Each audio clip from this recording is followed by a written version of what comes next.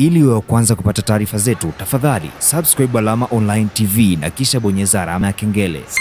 mali wetu ambao wanaweza kufanya kazi kutumia njia za umeme, lakini malengo ni kuwa na umeme mwingi wa kutosha, lakini pia uwe wa gharama nafuu kwa Watanzania ili uweze kutumika vizuri na kila Mtanzania amudu kuutumia umeme huu.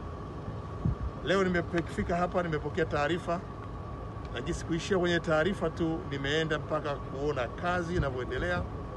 Nataka niwahakikishie Watanzania kazi inayofanywa hapa ni mzuri, ya uhakika na kwa kweli inaenda kwa wakati.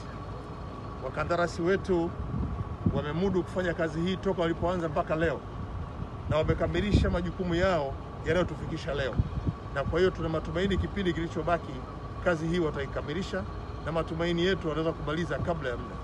Na sisi serikali tumejipanga kuhakikisha kwamba mahitaji yao yote yatakayowezesha kazi hii kukamilika yawe yameshakamilika. Kwa hiyo kazi nzuri inaendelea na mimi nimeridhika na kazi inayofanywa.